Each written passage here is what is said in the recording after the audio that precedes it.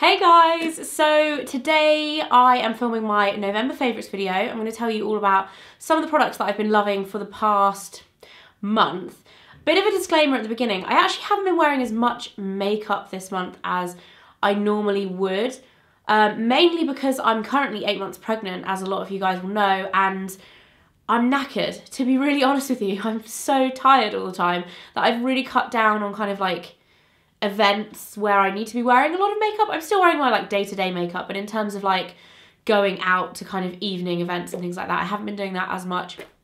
And I apologise as well at the beginning if I sound a little bit congested because I am the joys of being pregnant. Anyway, so I've got four makeup products that I've been reaching for consistently this month and I just keep going back to. The first one is the Fenty Beauty um, Matchsticks in Trippin. I had the Fenty Beauty powder in my last month's favourites, I think.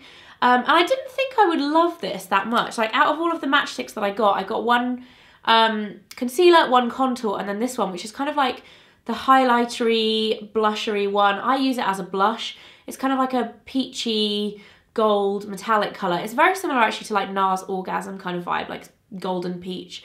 But I actually really, really love this. I've been reaching for it loads, especially because um, we've done not traveling, but like I've been doing my makeup on the go quite a lot. Um, over the past couple of weeks, like either in the car or we went to stay with friends last weekend. And I just find like it's just so easy to like have, draw on and then just blend with your fingers. So I've been using that loads this month, really, really like it. And it's just, it's not like an obvious colour, but it's just like really fresh and kind of glowy. Really like that. And I feel like this video is like the high-low video because I've got some really expensive beauty items, but then some also really affordable ones as well. Um, so the next thing that I've been loving is a Tom Ford lipstick. I find Tom Ford makeup a little bit hit and miss because it's so pricey.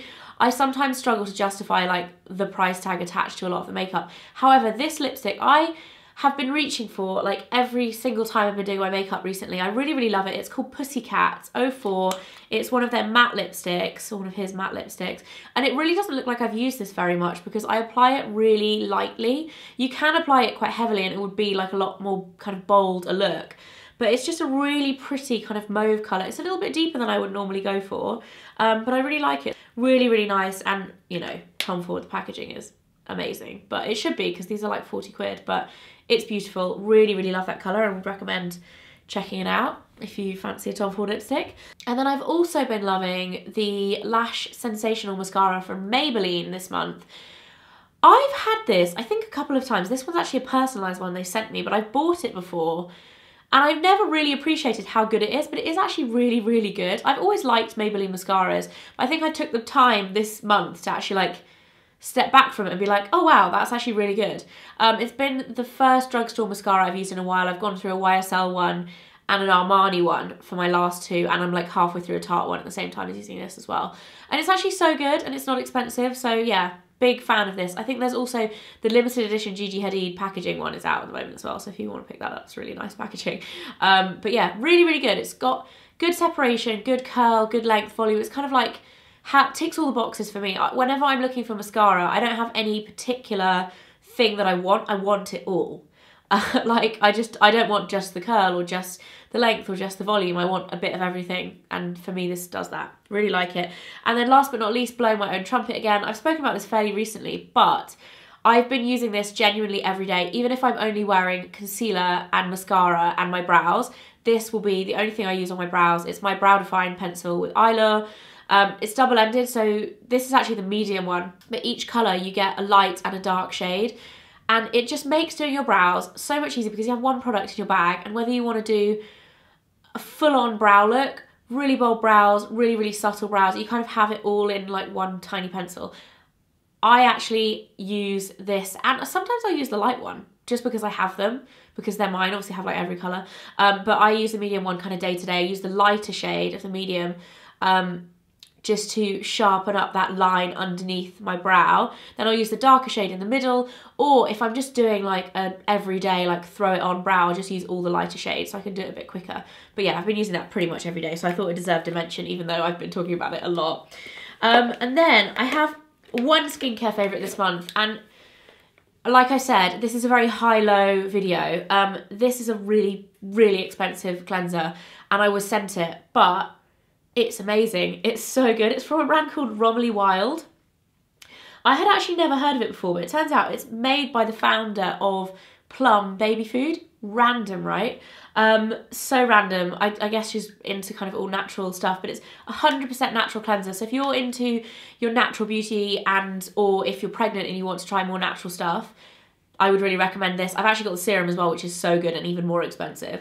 But I was just so impressed by how brilliant this is considering it's all natural and it just in general, like in comparison to all cleansers I've tried, it's kind of like they call it a serum cleanser, but it's kind of like a serum balm mixed together. It's got similar packaging to the Sarah Chapman Ultimate Cleanse, which is my other favourite. It's like a pump package. They say use like six pumps or something ridiculous. I don't use six pumps. I use like two or three if I've got a lot of makeup on, but then I'll just double cleanse. Um, so yeah, it's it's brilliant. It really is good. I absolutely love it. Doesn't irritate my eyes. It's got uh, an oil-based cleanser with wild oils, manuka honey and saffron for a radiant clear complexion and it just makes my skin feel and look glowing and amazing and I think it's about £60. It is really expensive but I genuinely have been using it every day and it's hard because when you get sent really pricey items like this I don't want to discriminate against them because they're expensive because if they are really good I feel like I should tell you guys about it so um, yeah Full disclosure on that one, it's expensive, but it is great. Uh, moving on to body stuff, this shower gel has been seriously floating my boat this this month. I have nearly finished the whole of this this bottle. It's a 500ml bottle as well. It's the Soaper, Soaper Duper, I always have trouble saying this, Soaper Duper um, passion fruit flavour. I am a big fan of Soaper Duper. They're a fairly new brand. Again, same founder as, not as Plum, different company, same founder as Soap and Glory and Beauty Pie, um, but they are 95%, or this particular product, they're all different, but they're mainly natural um, ingredients. So this is 95% natural um, with shea and coconut butter, papaya extract, no parabens, SLS, colours, or any of those usual suspects, it says. Um, yeah, so basically it's a more natural alternative to using a bog standard shower gel. This stuff is so lovely though. It smells incredible. I love passion fruit anyway. They actually sent me, I have to say, they sent me the ginger one of this today and I'm very excited to try that because I love ginger and it smells like Christmas.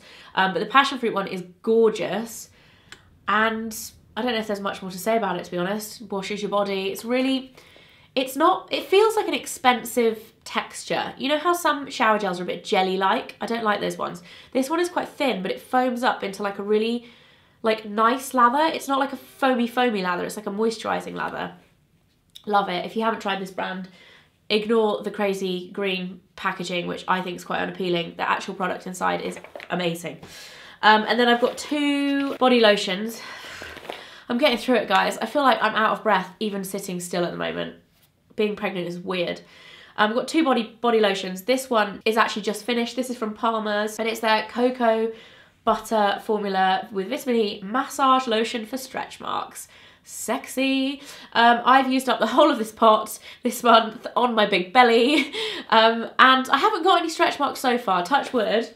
I mean, usually you get them right at the end, so or after you've had a baby when your tummy goes back. So we'll see. We'll see what happens, but it's really nice lotion to use. I use it all over my body, not just on my tummy or my boobs and like baby areas where it's growing and changing.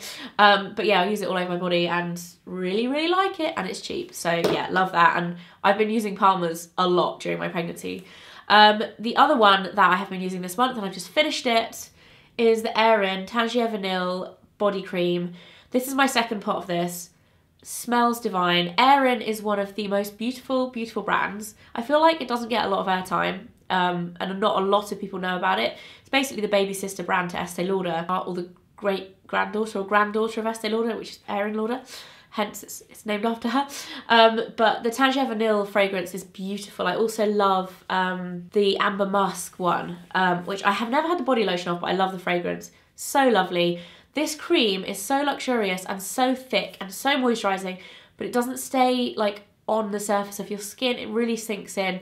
It absorbs very quickly. It's just a real like treat for your skin. So when I'm not using my Palmer's one, if I'm having like a bit of a pamper sesh, I will use this one. And or if I want to smell nice because it smells divine, I'll use this one. So that's actually finished as well. I might do a product empties. Would you guys be interested in seeing that? Got a lot of empties at the moment. And then I've also got a fragrance that I've been loving this month, which is the Glossier You fragrance.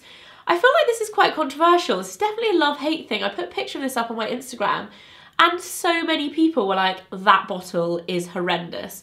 I think the bottle's quite cute. I don't know. Anyway, this smells really, really good. It's one of those fragrances that kind of smells like you not making an effort. It just smells like, oh, you smell amazing naturally kind of fragrances. It's very light, it's very fresh, very similar to like Escentric Molecules, that kind of vibe where it's like, oh, it smells like you're just, you know, like, I don't know.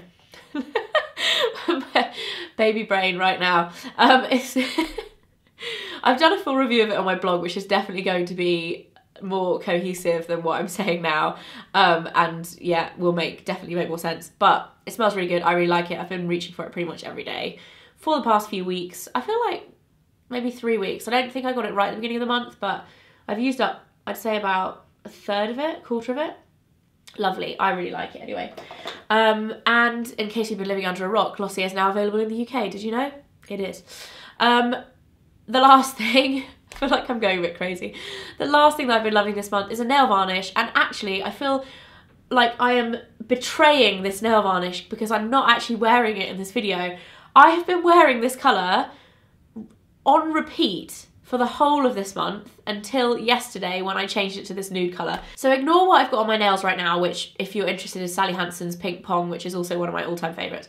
Um, and believe me when I say, I have actually been wearing this for all other like 25 days of the month so far. So it's Essie's Bahama Mama. I go back to this every single autumn. It's such a good autumn shade. It's like the perfect plum colour. It's beautiful. It's like reddy, purpley, autumnal gorgeousness. I love it. And it applies really nicely and it has the big thick Essie brush and it's just like just great in general. This is like my favourite Essie colour I think.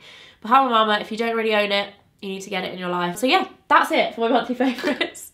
I feel like I need to go and have a good cup of tea now. Um, I will see you guys very soon. Um, I hope you're all having a lovely, lovely run up to the festive period. I'm starting to feel very Christmassy and it's exciting me greatly. Um, oh, also thank you all so much for your awesome feedback on my gift guides. I'm glad you like them and I will see you very soon. Bye guys.